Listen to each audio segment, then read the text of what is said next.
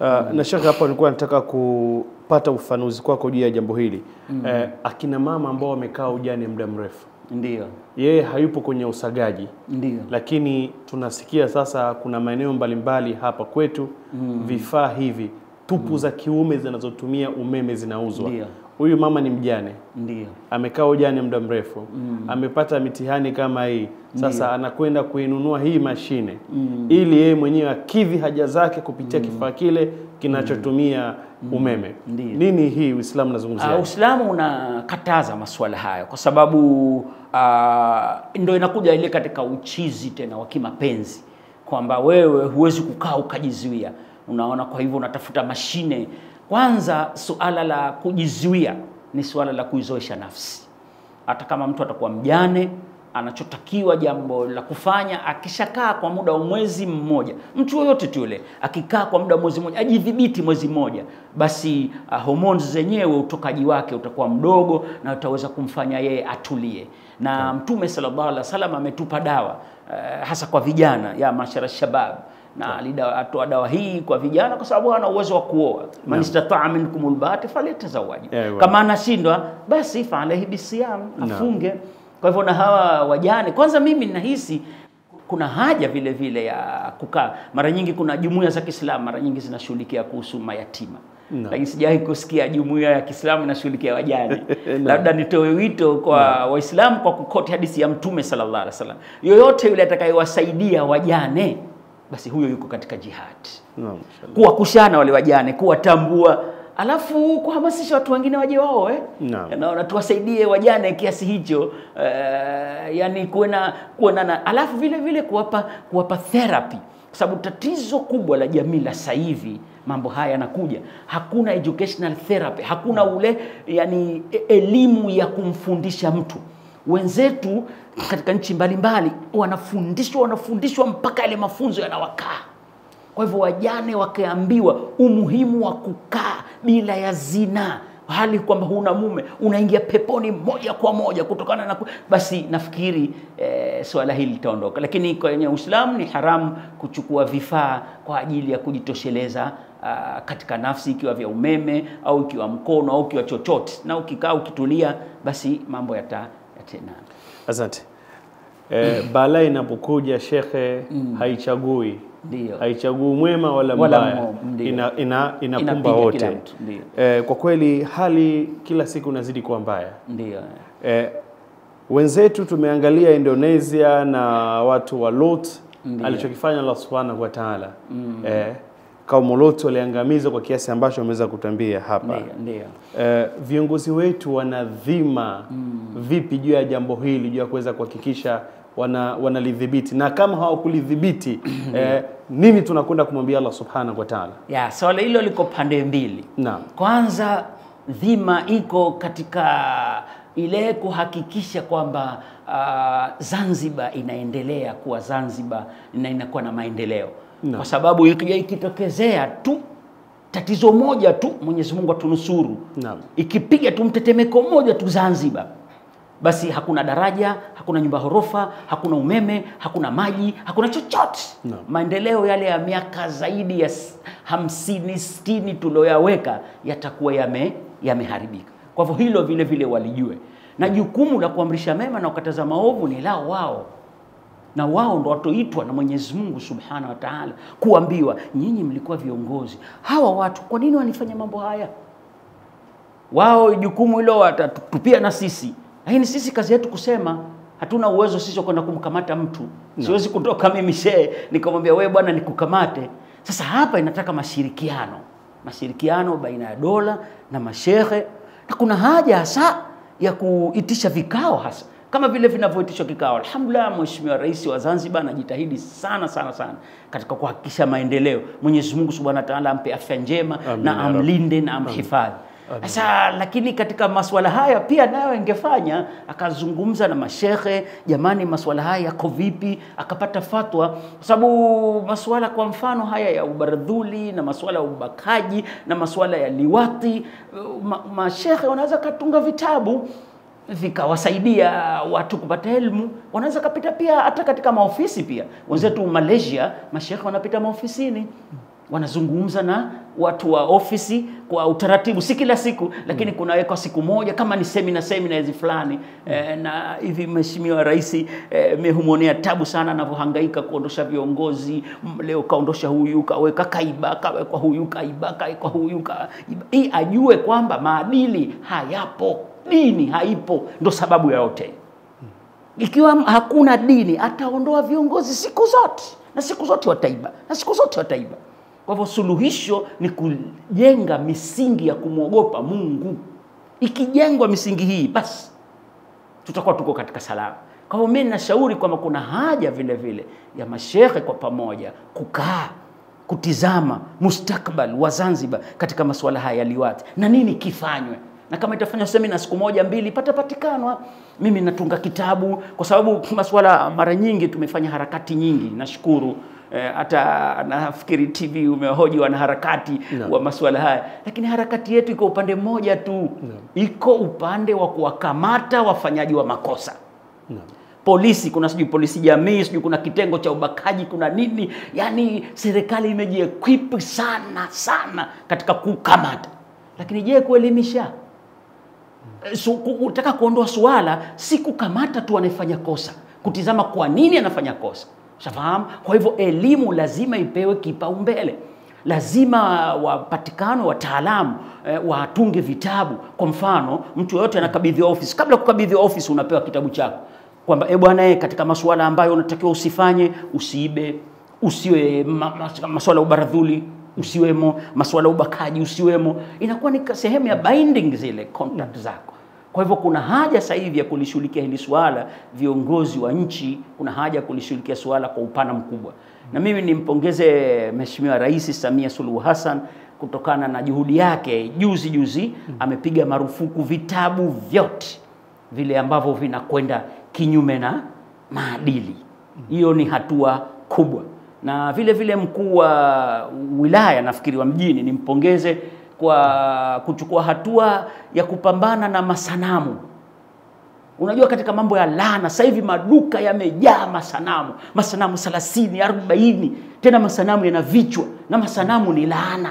Tena yako madukani tena, afu wafanyabiashara wanalalamika, wanasema hakuna mtu anayekuja kununua. Hayo masanamu yenu, si yapo 30 40, basi yauzieni, sababu nyinyi wenyewe mmeamua kumwasi, kumkera Mungu.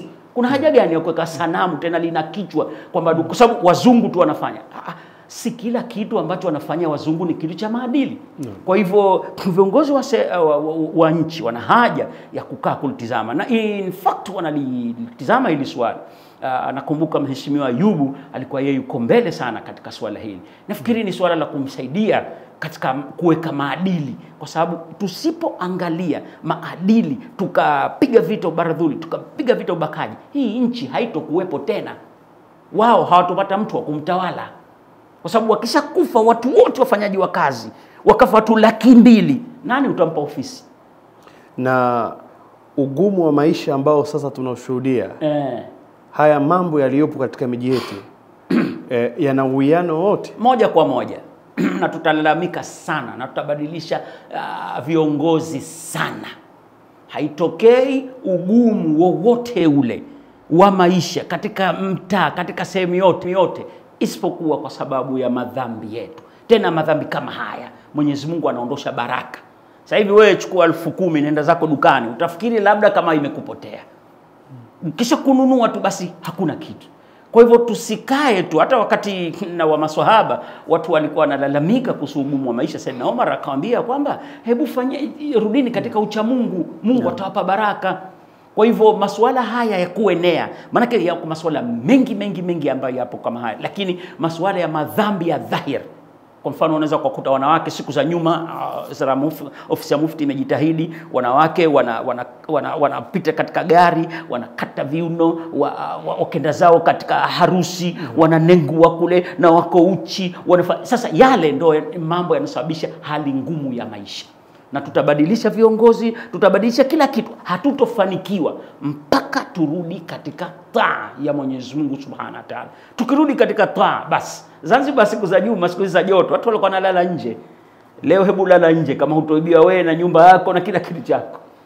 Kwa hivyo watu wote warudi katika taa ya Mwenyezi Mungu Subhanahu wa Ta'ala.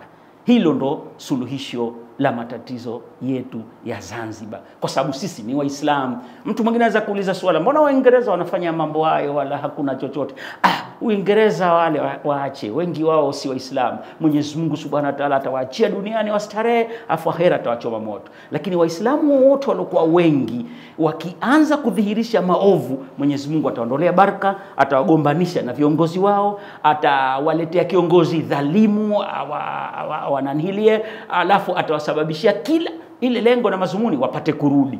Kwa hivyo tukirudi kwa Mwenyezi Mungu na maisha yetu yatakuwa mazuri.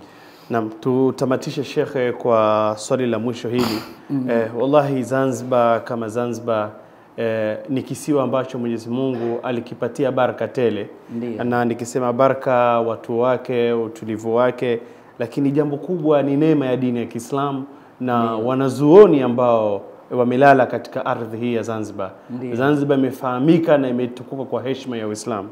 Uh, tunasoma tunaambiwa, tunaona katika vitabu mbalimbali tunu ambayo Zanzibar tulikuwa tunayo. Leo sisi eh, heshima ya Zanzibar imepotea katika mikono yetu. Tuna umasulia kiasi gani mbele ya Allah subhanahu wa ta'ala juu ya hili? ya kwa sababu Mwenyezi Mungu Subhanahu wa Ta'ala akikupa neema amekupenda hasa neema ya elimu, na no. ukitupa hiyo neema sio tu kwako wewe, lakini kwa umma utakuwa ni masulia, kwa sababu Zanzibar ilikuwa watu wote wanatoka huko wanakuja kusoma hapa Zanzibar naona na kilikuwa Zanzibar ndo chanzo cha, cha, cha elimu na hata fatwa. Wakati mwingine Maka ukiipeleka unaulizwa kwamba je, Zanzibar huko imenanilia. Mimi nafikiri sababu kubwa ilikuwa Zanzibar wakati huo ilikuwa ni kubwa, maeneo makubwa, Lamu, wapi wapi wapi, Mombasa na nini na nini, lakini hata hivi sasa hivi Zanzibar tunayo nafasi, tunayo nafasi lakini kunahitajika manake jambo ambalo uh, kubwa serikali inabidi ifanye, kwa sababu wakati huo uh, yani hii kwamba dini ilikuja juu ni kwamba serikali ilikuwa ina inasukuma no. katika masuala ya dini. no. Leo ukenda ofisi ya mufti, alhamdulillah ofisi ipo, lakini haina pesa hata moja Naam. Katika masuala ya dini. Sijui huyu waziri anahusika hiyo ofisi ya mufti, sijui sijui hawaombi, sijui au hawanini. Make uende ofisi ya mufti useme jamani, nye hebu tufanyeni ziara katika misikiti, watakwambia si hatuna fedha, hatuna bajeti. Sasa ah, unajiuliza ah, kwa mfano manake kuna kuna kuna masuala ambayo labda ni ni ya, ya muhimu tuseme kwamba sasa hivi sisi hapa Zanzibar tunakusudia tupate vijana mahafidh, labda tupate kama 40 unaona, alafu tuwapeleke wende wakasome, lakini utakuta mtu asomee mwenyewe. Sasa hii serikali lazima ifanye, na uwezekano upo kwa kushirikiana na nchi kama za Saudi Arabia za nini za nini. Mimi sifikiri kama Zanzibar ikiomba bwana, tunaomba nafasi mia za degree specially kwa Zanzibar tu, sifikiri kama watakoseshwa wakishafika wale watu mia uh, wana first degree waambie kwamba tunaomba master tunaomba phd ukiwa na wataalamu mia hapa alafu wakakaa kiasi miaka kumi kumi na tano zanzibar itakuwa ni nchi nyingine. Kwa hivyo mi nahisi viongozi wa serikali watusaidie na hii itakuwa sadaka yao akhera. Watusaidie watoe bajeti pia katika ma, masuala ya dini. Ofisi za dini zinasikitisha. No. Kama utakwenda kule nani, niliwahi kwenda katika ofisi ya, ya nani ya kadhi, yani manake ndo pale ndo pana kadhi, yani ofisi kwa kweli. Ina, inatia aibu, maana yake banda banda tu, watu ndo wanakwenda kupeleka kesi, sijui pana hivi. Nasikia wana utaratibu wa kujenga, lakini mimi nahisi wajikaze zaidi katika masuala haya ya, ya, ya kuzipa hadhi Alafu vile vile nahisi jambo jingine ambayo serikali inatakiwa ifanye uh, kwa sahizi na hii itasaidia uh, kutafuta ufadhili wa walimu wa madrasa japo japo nje, maanake walimu wa madrasa wanadhalilika sana kwa sababu wao hawana pesa, hawana uwezo wa shilingi sijui mia au mia ngapi sijui wanatoa hawalipwi. Yeah. E, vyuo viko katika sasa, inapodhalilika Qur'an basi na nchi hawezi kuja juu.